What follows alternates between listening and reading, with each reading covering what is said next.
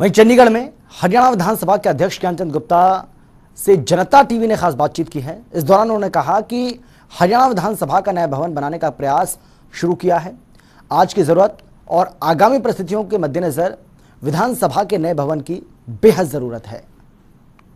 हरियाणा में परिसीमन के मद्देनजर हरियाणा विधानसभा के अध्यक्ष ज्ञानचंद गुप्ता ने एक पहल की, एक कदम बढ़ाया कि हरियाणा विधानसभा के लिए नए भवन की ज़रूरत है और इसी के चलते विधानसभा के अध्यक्ष ज्ञानचंद गुप्ता ने बीते दिनों हरियाणा के मुख्यमंत्री मनोहर लाल को इसको लेकर एक पत्र लिखा था। स्पीकर का पत्र मिलने के बाद हरियाणा के मुख्यमंत्री मनोहर लाल ने अब केंद्रीय गृह मंत्री अमित शाह को पत्र लिखा है और ये कहा है कि चंडीगढ़ में ही ज़मीन उपलब्ध करवाई जाए और हरियाणा विधानसभा का नया भवन बनाए जाने पर विचार किया जाए। तमाम मुद्दों पर बातचीत करने के लिए मेरे साथ हरियाणा विधानसभा के अध्यक्ष ज्ञानचंद गुप्ता हैं। स्पीकर साहब, आपने एक कदम बढ़ाया और आपने एक चिट्ठी मुख्यमंत्री को लिखी और ये कहा कि परिसीमन के मद्देनजर हरियाणा को नए भवन की ज़रूरत है विधानसभा के लिए। अब कहाँ तक आप आगे बढ़े हैं सर इस पूरे मसले में? देखिए पवन जी जैसा कि आपको जानकारी है, आज की परिस्थिति में और जो आने वाली परिस्थिति है, उन दोनों को मद्देनज़र रखते हुए हरियाणा विधानसभा का जो भवन है, उसका आधुनिकीकरण और उसका एक्सपेंशन वो बहुत ज़रूरी है। आज की परिस्थिति में विधान भवन जो हमारा है, उसमें नब्बे विधायकों की बैठने की व्यवस्था है। और अगर हमारे पास दो या तीन विधायक और आ जाएँ तो उनको बिठाने की व्यवस्था हमारे वहाँ हो नहीं सकती। और इसके अलावा जो हमारी विधानसभा की कमेटियाँ हैं, उनके बैठने के लिए कोई स्थान नहीं है, उनके चेयरमैन के लिए कोई कमरा नहीं है। इवन जो हमारे मंत्री, जब हमारा विधानसभा सत्र होता है, उनके बैठने के लिए भी कोई वहाँ पर स्थान उपलब्ध नहीं है। लीडर ऑफ़ द अपोजिशन उनको हमने एक कैबिन के अंदर टेम्परेरी कैबिन के अंदर बना करके उनको एक कमरा दिया हुआ है। इस प्रकार की परिस्थिति में आज विधानसभा कार्य कर रही है। और इसके साथ साथ अब देखिए पत्रकार दीर्घा है।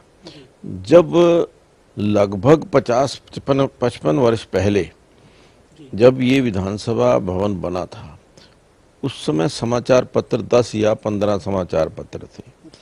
आज सैकड़ों की संख्या में समाचार पत्र छपने लगे हैं। और उसके अलावा जो इलेक्ट्रॉनिक मीडिया है और सोशल मीडिया है, ये जिस प्रकार से पिछले पंद्रह साल के अंदर, बीस साल के अंदर आया है, इस व्यवस्था को भी हमने सुधारना है। और इसके अलावा हम विधानसभा का, ई विधानसभा बनाने के लिए प्रयासरत हैं। और विधानसभा का डिजिटलाइजेशन का काम हमने शुरू किया है। उसको बनाने के लिए, उसका ट्रेनिंग सेंटर बनाने के लिए हमारे पास जगह उपलब्ध नहीं है। और अब हमने ये निर्णय किया कि जो हमारे विधायकों के हॉस्टल्स हैं, जो फ्लैट्स हैं, उन फ्लैट्स के अंदर ये ट्रेनिंग की व्यवस्था की जाए, वहाँ पर ये कार्यालय स्थापित किया है तो इन सारी परिस्थितियों को मद्देनजर रखते हैं। और आगामी 2026 में जब दोबारा परिसीमन होने वाला है, आज की जो जानकारी या खबरें अखबारों के अंदर भी आ रही हैं, जो एक्सपर्ट्स की राय है, कम से कम 30 या 35 विधायक जो हैं, वो और बढ़ने वाले हैं।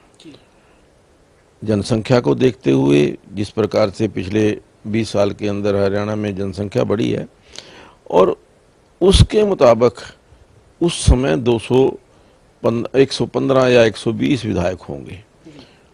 तो उस स्थिति को ध्यान में रखते हुए मुझे लगता है कि हमें अभी पर्याप्त समय है और इस समय के अंदर अपना एक विधानसभा भवन जो चंडीगढ़ में स्थित हो और इसी विधानसभा भवन के बिल्कुल नज़दीक हो, वो विधानसभा भवन यहाँ पर बनना चाहिए। तो इसी को लेकर के मैंने एक पत्र आदरणीय मुख्यमंत्री श्री मनोहर लाल जी को लिखा था और दूसरा पत्र मैंने आदरणीय अमित शाह जी को जो हमारे गृह मंत्री हैं उनको भी भेजा था।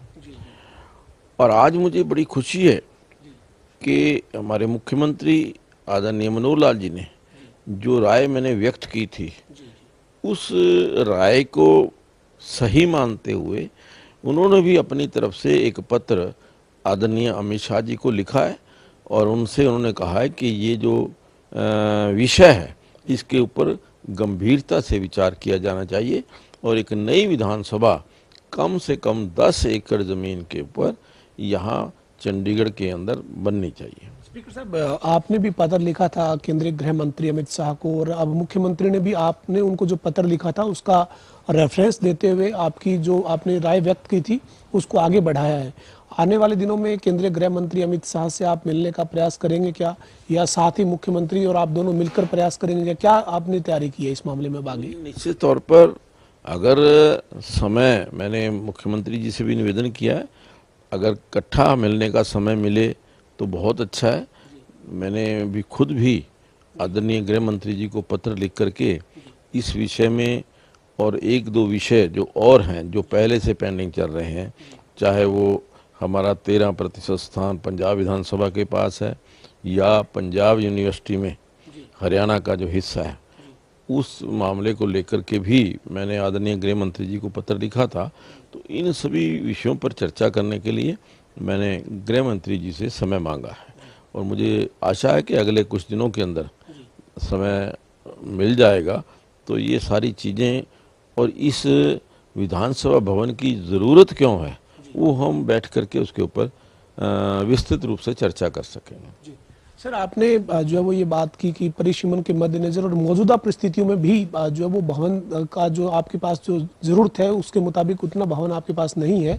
ऐसे में जो आपने डिजिटलाइजेशन का फैसला किया था, सर, उसको अभी आगे बढ़ा रहे हैं या आगे की जो नई आगामी जो रणनीति रहेगी, उसके चलते उसको अभी जो है वो रोकने की कोशिश रहेगी? देखिए, वो हमारा प्राथमिकता है, हमारी प्राथमिकता है।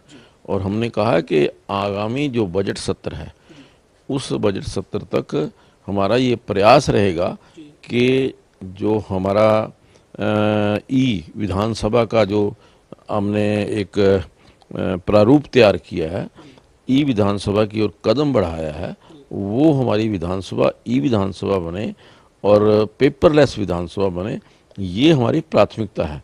ये तो भवन जब बनेगा ये सारा जो सामान है, ये वहाँ पर शिफ्ट किया जा सकता है, लेकिन हम उस भवन की खातर ये जो डिजिटलाइजेशन और कंप्यूटराइजेशन का काम है, इसको नहीं रोकेंगे।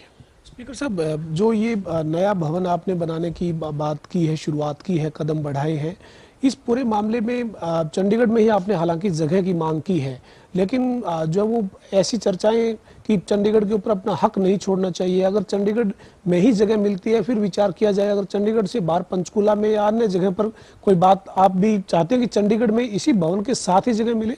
बिल्कुल, देखिए, ये हमारी सबसे पहली शर्त है कि जो स्थान उपलब्ध हो, वो चंडीगढ़ में हो। पंचकूला या किसी और ज़िला के अंदर कोई सवाल ही पैदा नहीं होता। चंडीगढ़ के अंदर उपयुक्त स्थान कोई मिले, तभी हम उसके ऊपर विधानसभा भवन जो है, बढ़ाने की, बनाने की ओर आगे बढ़ेंगे। अब उम्मीद करें कि जो आज की मौजूदा परिस्थिति और आगे की परिस्थितियों के मद्देनजर आपने ये शुरुआत की है कदम बढ़ाया लेकिन इसके साथ साथ सर, जो पंजाब के पास हरियाणा का हिस्सा एक तौर पर, कब्जे के तौर पर है, उसमें भी आपने पंजाब के राज्यपाल चंडीगढ़ प्रशासक से मुलाकात की, पूरा विधान, हरियाणा के विधानसभा में आपने प्रस्ताव पारित करते हुए सभी दलों के नेताओं के साथ आप मिलने गए और साथ ही अधिकारियों की बाद में बैठ, बैठकें हुई। क्या कोई नतीजा निकलता दिख रहा है, सर? नहीं, देखिए, मुझे लगता है कि एक प्रक्रिया शुरू हुई है ज़रूर उस प्रक्रिया का आ, सही एक अंत होगा क्योंकि जो हमने प्रक्रिया शुरू की थी उसके कुछ कुछ परिणाम आने शुरू हुए हैं। अभी कुछ दिन पहले जो। चंडीगढ़ प्रशासन है उनके अधिकारियों की तरफ़ से एक पत्र आया था और जिसमें उन्होंने लिखा था कि हमारे पास उस समय का कोई रिकॉर्ड उपलब्ध नहीं है जिस समय चंडीगढ़ का ना इसका पंजाब और हरियाणा का विभाजन हुआ था। लेकिन खुशकिस्मती की बात यह है कि हमारे पास वो पूरे का पूरा रिकॉर्ड उपलब्ध है और हमने वो पूरा रिकॉर्ड चंडीगढ़ प्रशासन को भी और आदरणीय महामंजी को दोनों को अलग अलग से उनके पास भेज दिया है। मुझे लगता है कि उसके ऊपर वो ज़रूर जो वहाँ की प्रोसीडिंग्स हैं, जो वहाँ के निर्णय हैं, उन निर्णयों को देख करके आगे कोई निर्णय करेंगे। बहुत हमारे साथ हरियाणा विधानसभा के अध्यक्ष ज्ञानचंद गुप्ता थे, जिन्होंने कहा है कि मौजूदा परिस्थिति की बात करें या आगामी जो परिस्थिति बनेगी, उसके आधार पर नए विधान भवन हरियाणा का बनाने को लेकर एक पहल शुरू की है और उसको आगे जो है वो बढ़ाया जाएगा। साथ ही जो मौजूदा विधानसभा सदन है, उसको डिजिटलाइजेशन उसमें किया जाएगा, ई विधानसभा बने, ऐसा प्रयास रहेगा और विधानसभा का जो आगामी बजट सत्र होगा, तब तक ये ई विधानसभा सामने आए और इस पे काम हो। इसको लेकर काम चल रहा है और प्रयास है कि इसको पूरा कर लिया जाएगा। वीडियो जर्नलिस्ट विजेंद्र सिंह के साथ पवन सिंह और जनता टीवी, चंडीगढ़।